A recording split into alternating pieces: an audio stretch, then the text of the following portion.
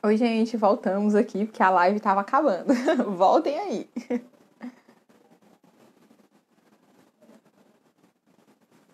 Pronto, agora o César vai explicar.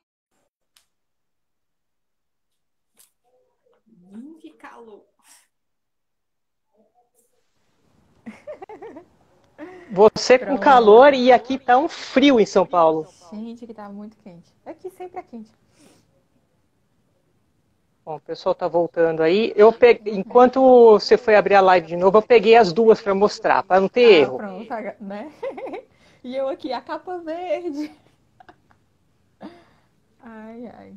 E tá legal, né? Você tá tendo bastante retorno, o pessoal tá lendo. Sim, sim. É, eu acho que é isso. assim, do pessoal não pegar, porque muita gente disse assim, ah, mas a gente vai ler em um mês, o livro tem muitas páginas. Ai, mas o pessoal tá firme e forte. Não, eu achei super legal. É, A gente tem que derrubar paradigma mesmo. É, é, é muito descritivo. Alguém disse isso. Vamos ler. Vamos ver. Um livro desse não faz sucesso há 65 anos à toa. Né? O Hobbit 85 Gente, é muito sucesso, é muito tempo no, no topo. Chegar no topo já é difícil. Se manter por 85 anos, né? Pronto, o pessoal voltou aí. é, eu acho que dá para explicar. Então vamos lá. As duas são capa verde. O que acontece é que a. Eu vou mostrar aqui a, a mais legal. É essa daqui, que tem as montanhas e o, e o dragão. Ela é do Humphrey Carpenter. Tá? É da HarperCollins. Ela é de tecido. É um tecido importado, inclusive, e ela tem um, um cheirinho delicioso. Esse tecido aqui, ele com o tempo de manuseio, ele vai ficando mais, mais sedoso. O dom da amizade também é assim, é um tecido importado. Sim, sim. Ele é tá? Eles fazem em conjuntinho. né? Então, essa é a biografia oficial, autorizada pela família, e o Humphrey Carpenter conversou, conheceu o Tolkien. Nossa, que legal. Então, aqui a gente tem é, relatos dele conversando com Tolkien, dele conversando com a família, e ele mexeu em todos os diários, em todas as papeladas do Tolkien. Nossa. O Dom da Amizade usa elementos desse livro e de outros. Esse livro é a base, é a fonte de todas as outras biografias que existem. Tá? Então, ele é tecido, combina com o tamanho da- do resto da, da coleção. Tá? Humphrey Carpenter. A já outra. A outra fez muito sucesso porque ela é linda. Olha que bonita. Nossa, muito bonito mesmo. Essa chama O Senhor da Fantasia e é feita pelo Michael White. Então, essa daqui é uma biografia de fonte secundária. Ela usa elementos do Humphrey Carpenter e outras entrevistas que o Tolkien deu e outros papéis. A do Humphrey Carpenter é uma biografia primária. Foi direto na fonte.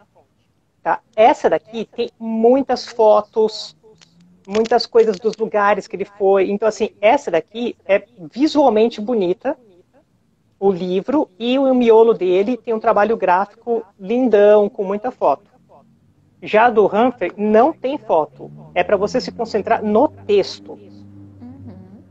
Tanto que a original tinha, eu não lembro quantas páginas, mas tipo, tinha um número X de páginas e eles colocaram 70 páginas a mais para fazer o texto ficar mais fluido. Então eles aumentaram o tamanho da fonte, o espaçamento de linha para esticar o texto. Sim, sim. Então o foco é narrativo, não é visual. O outro é São- visual, né? É, são propostas, tá? Então, assim, as duas são bem legais. Então, assim, se quiser, até você pode ler essa. Mas você vai achar uma grande diferença, porque aqui o Michael White é um biógrafo que tem uma característica de fazer um pouco de juízo dos seus bio... de quem ele faz a biografia. E já o, o Humphrey Carpenter tem um- uma pegada isenta. Hum, São abordagens diferentes, assim. legal. Bem é. legal, eu não sabia, assim, definitivamente eu não sabia dessa, dessa diferença de abordagens. Na verdade, Sim. eu acho que eu só conhecia essa da HarperCollins, eu não conhecia essa outra da Dark Side.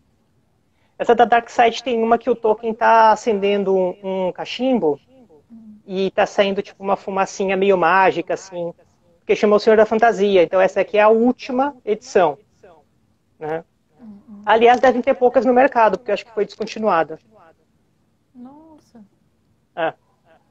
Então, é, quanto à biografia, é isso.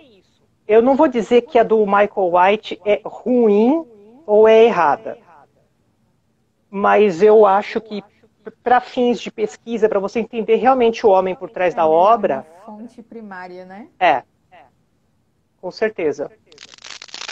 Tá, então, seria mais ou menos isso. E o Dom da Amizade também dá um, uma boa recapitulada. Acho que é isso, pessoal.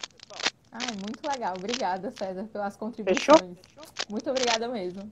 Tá bom, então. Pessoal, parabéns pelo, pelo seu aniversário, né? Ah, Você obrigada. fez recentemente. obrigada. E sigam aí. Eu vou tentando acompanhar o máximo possível.